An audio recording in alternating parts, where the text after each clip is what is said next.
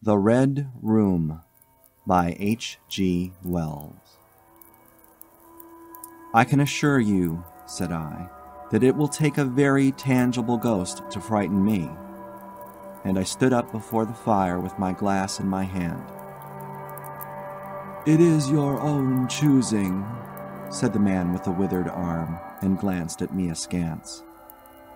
Eight and twenty years, said I, I have lived, and never a ghost have I seen as yet. The old woman sat staring hard into the fire, her pale eyes wide open. Ay, she broke in, and eight and twenty years you have lived and never seen the likes of this house, I reckon. There's a many things to see when one's still but eight and twenty. She swayed her head slowly from side to side. A many things to see and sorrow for. I half suspected the old people were trying to enhance the spiritual terrors of their house by their droning insistence. I put down my empty glass on the table and looked around the room and caught a glimpse of myself, abbreviated and broadened to an impossible sturdiness, in the queer old mirror at the end of the room. Well, I said, if I see anything tonight, I shall be so much the wiser, for I come to the business with an open mind. It's your own choosing, said the man with the withered arm once more. I heard the sound of a stick and a shambling step on the flags in the passage outside, and the door creaked on its hinges as a second old man entered, more bent, more wrinkled, more aged even than the first. He supported himself by a single crutch, his eyes were covered by a shade, and his lower lip, half averted, hung pale and pink from his decaying yellow teeth. He made straight for an armchair on the opposite side of the table, sat down clumsily, and began to cough. The man with the withered arm gave this newcomer a short glance of positive dislike. The old woman took no notice of his arrival, but remained with her eyes fixed steadily on the fire.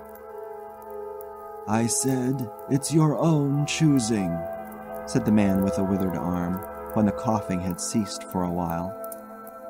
It's my own choosing, I answered. The man with the shade became aware of my presence for the first time, and threw his head back for a moment and sideways to meet me. I caught a momentary glimpse of his eyes, small and bright and inflamed. Then he began to cough and sputter again. Why don't you drink? said the man with the withered arm, pushing the beer towards him. The man with the shade poured out a glassful with a shaky hand that splashed half as much again on the deal table.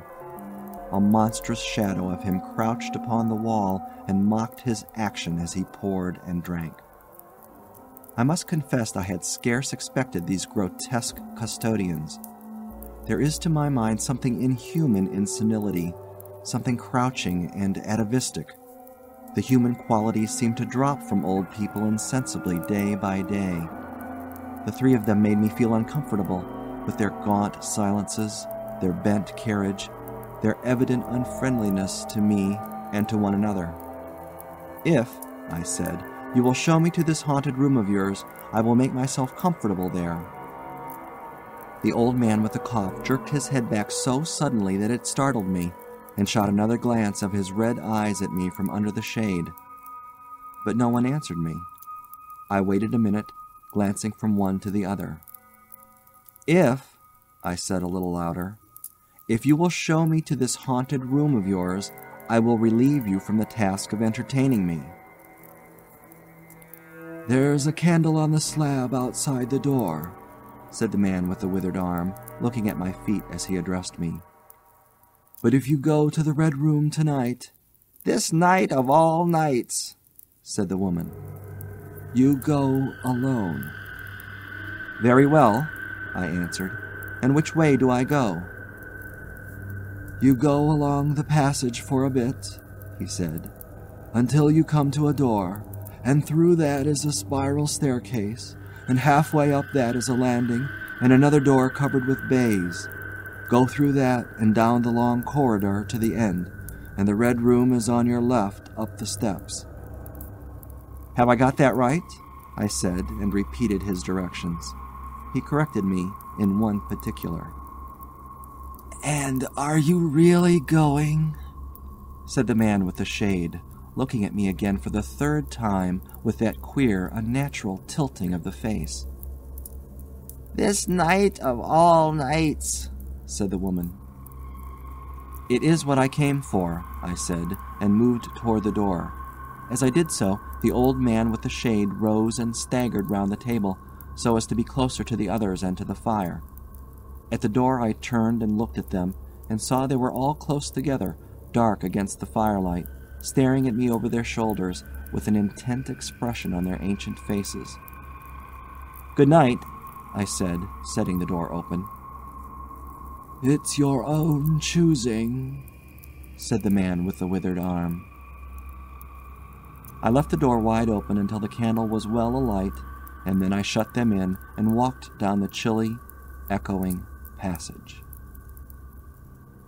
I must confess that the oddness of these three old pensioners in whose charge her ladyship had left the castle, and the deep toned, old fashioned furniture of the housekeeper's room in which they foregathered, affected me in spite of my efforts to keep myself at a matter of fact phase. They seemed to belong to another age, an older age, an age when things spiritual were different from this of ours, less certain, an age when omens and witches were credible, and ghosts beyond denying. Their very existence was spectral, the cut of their clothing, fashions born in dead brains. The ornaments and conveniences of the room about them were ghostly, the thoughts of vanished men which still haunted rather than participated in the world of today. But with an effort I sent such thoughts to the right about. The long, drafty, subterranean passage was chilly and dusty, and my candle flared and made the shadows cower and quiver. The echoes rang up and down the spiral staircase, and a shadow came sweeping up after me, and one fled before me into the darkness overhead. I came to the landing and stopped there for a moment, listening to a rustling that I fancied I heard. Then, satisfied of the absolute silence, I pushed open the baize covered door and stood in the corridor. The effect was scarcely what I expected, for the moonlight, coming in by the great window on the grand staircase, picked out everything in vivid black shadow or silvery illumination. Everything was in its place. The house might have been deserted on the yesterday instead of eighteen months ago. There were candles in the sockets of the sconces, and whatever dust had gathered on the carpets or upon the polished flooring was distributed so evenly as to be invisible in the moonlight. I was about to advance and stopped abruptly. A bronze group stood upon the landing, hidden from me by the corner of the wall, but its shadow fell with marvelous distinctness upon the white paneling, and gave me the impression of someone crouching to waylay me. I stood rigid for half a minute, perhaps. Then, with my hand in the pocket that held my revolver, I advanced, only to discover a Ganymede and eagle glistening in the moonlight. That incident for a time restored my nerve, and a porcelain Chinaman on a buhl table, whose head rocked silently as I passed him, scarcely startled me. The door to the red room and the steps up to it were in a shadowy corner. I moved my candle from side to side in order to see clearly the nature of the recess in which I stood before opening the door. Here it was, thought I, that my predecessor was found, and the memory of that story gave me a sudden twinge of apprehension. I glanced over my shoulder at the Ganymede in the moonlight, and opened the door of the red room rather hastily, with my face half turned to the pallid silence of the landing. I entered, closed the door behind me at once, turned the key I found in the lock within, and stood with the candle held aloft, surveying the scene of my vigil, the great red room of Lorraine Castle in which the young Duke had died. Or rather, in which he had begun his dying, for he had opened the door and fallen headlong down the steps I had just ascended. That had been the end of his vigil, of his gallant attempt to conquer the ghostly tradition of the place. And never, I thought, had apoplexy better served the ends of superstition. And there were other and older stories that clung to the room, back to the half credible beginning of it all the tale of a timid wife and the tragic end that came to her husband's jest of frightening her. And looking around that large, somber room, With its shadowy window bays, its recesses and alcoves, one could well understand the legends that had sprouted in its black corners, its germinating darkness. My candle was a little tongue of light in its vastness that failed to pierce the opposite end of the room and left an ocean of mystery and suggestion beyond its island of light. I resolved to make a systematic examination of the place at once and dispel the fanciful suggestions of its obscurity before they obtained a hold upon me. After satisfying myself of the fastening of the door, I began to walk about the room, peering round each article of furniture, tucking up the valances of the bed, and opening its curtains wide. I pulled up the blinds and examined the fastenings of the several windows before closing the shutters, leaned forward and looked up the blackness of the wide chimney, and tapped the dark oak paneling for any secret opening. There were two big mirrors in the room, each with a pair of sconces bearing candles, and on the mantel shelf, too, were more candles in china candlesticks. All these I lit one after the other. The fire was laid, an unexpected consideration from the old housekeeper, and I lit it to keep down any disposition to shiver. And when it was burning well, I stood round with my back to it and regarded the room again. I had pulled up a chintz covered armchair and a table to form a kind of barricade before me, and on this lay my revolver ready to hand. My precise examination had done me good, but I still found the remoter darkness of the place and its perfect stillness too stimulating for the imagination. The echoing of the stir and crackling of the fire was no sort of comfort to me. The shadow in the alcove at the end, in particular, had that undefinable quality of a presence, that odd suggestion of a lurking, living thing that comes so easily in silence and solitude. At last, to restore myself, I walked with a candle into it and satisfied myself that there was nothing tangible there. I stood that candle upon the floor of the alcove and left it in that position. By this time I was in a state of considerable nervous tension, although to my reason there was no adequate cause for the condition. My mind, however, was perfectly clear. I postulated quite unreservedly that nothing supernatural could happen, and to pass the time I began to string some rhymes together, Ingoldsby fashion, of the original legend of the place. A few I spoke aloud, but the echoes were not pleasant. For the same reason, I also abandoned, after a time, a conversation with myself upon the impossibility of ghosts and haunting. My mind reverted to the three old and distorted people downstairs and I tried to keep it upon that topic. The somber reds and blacks of the room troubled me. Even with seven candles, the place was merely dim. The one in the alcove flared in a draught, and the fire flickering kept the shadows in penumbra perpetually shifting and stirring. Casting about for a remedy, I recalled the candles I had seen in the passage, and, with a slight effort, walked out into the moonlight, carrying a candle and leaving the door open, and presently returned with as many as ten. These I put in various knickknacks of china with which the room was sparsely adorned, lit and placed where the shadows had lain deepest, some on the floor, some in the window recesses, until at last my seventeen candles were so arranged that not an inch of the room but had the direct light of at least one of them. It occurred to me that when the ghost came I could warn him not to trip over them. The room was now quite brightly illuminated, there was something very cheery and reassuring in these little streaming flames, and snuffing them gave me an occupation, and afforded a helpful sense of the passage of time. Even with that, however, the brooding expectation of the vigil weighed heavily upon me. It was after midnight that the candle in the alcove suddenly went out, and the black shadow sprang back to its place there. I did not see the candle go out, I simply turned and saw that the darkness was there, as one might start and see the unexpected presence of a stranger. By Jove, said I aloud, that draught's a strong one. And taking the matches from the table, I walked across the room in a leisurely manner to relight the corner again. My first match would not strike, and as I succeeded with the second, something seemed to blink on the wall before me.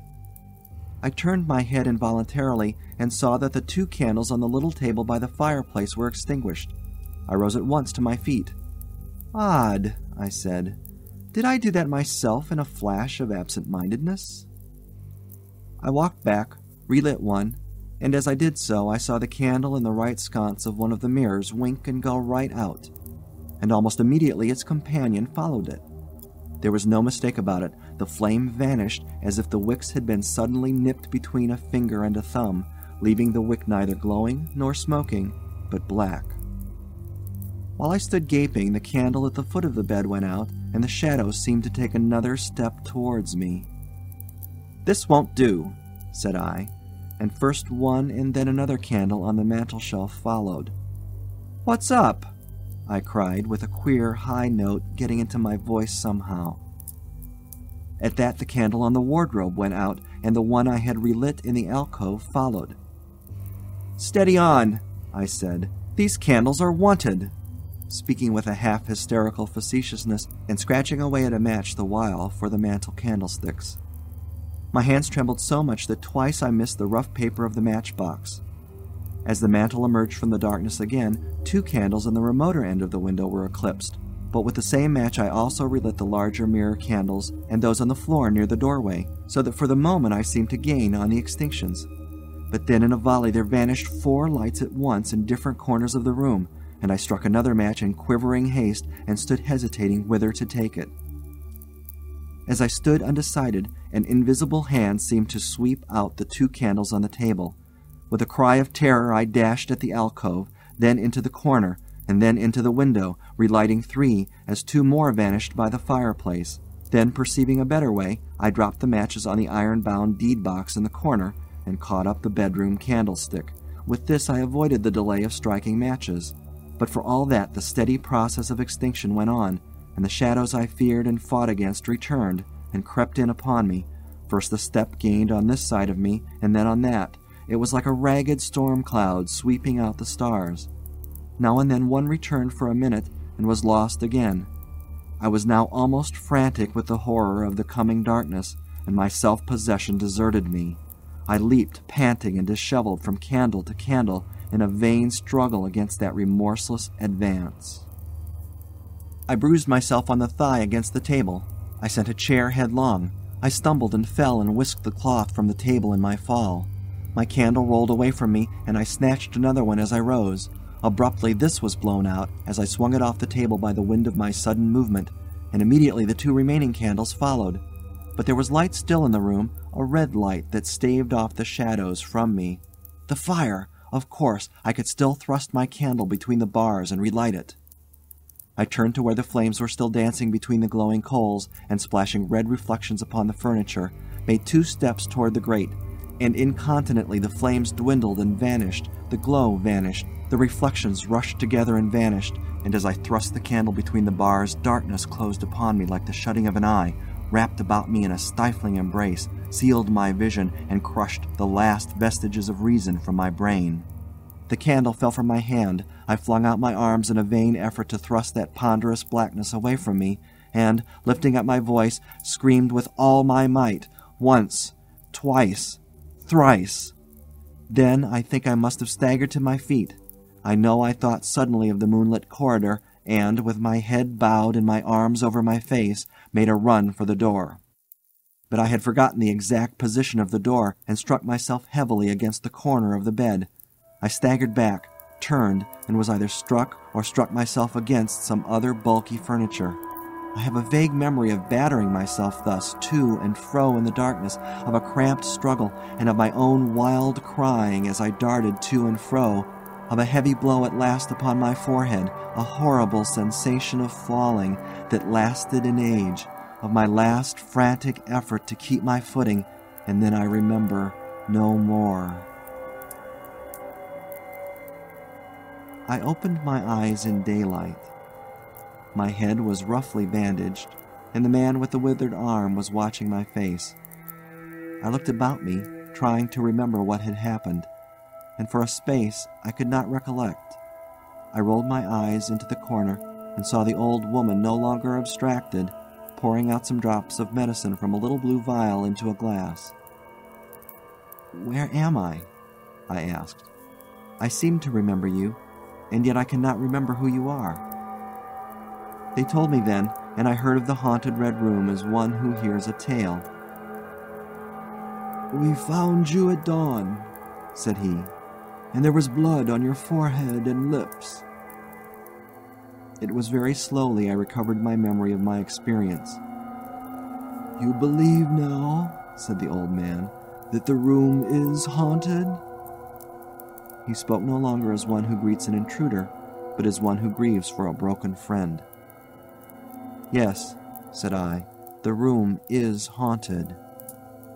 And you have seen it, and we, who have lived here all our lives, have never set eyes upon it, because we have never dared. Tell us, is it truly the old Earl who. No, said I, it is not. I told you so, said the old lady with the glass in her hand. It is his poor young countess who was frightened. It is not, I said. There is neither ghost of Earl nor ghost of Countess in that room. There is no ghost there at all. But worse, far worse. Well, they said. The worst of all the things that haunt poor mortal man, said I, and that is, in all its nakedness, fear that will not have light nor sound, that will not bear with reason, that deafens and darkens and overwhelms. It followed me through the corridor. It fought against me in the room. I stopped abruptly. There was an interval of silence. My hand went up to my bandages. Then the man with the shades sighed and spoke. That is it, said he. I knew that was it. A power of darkness to put such a curse upon a woman. It lurks there always. You can feel it even in the daytime, even of a bright summer's day, in the hangings, in the curtains, keeping behind you however you face about. In the dust, it creeps along the corridors and follows you so that you dare not turn. There is fear in that room of hers, black fear, and there will be so long as this house of sin endures. End of The Red Room by H.G. Wells.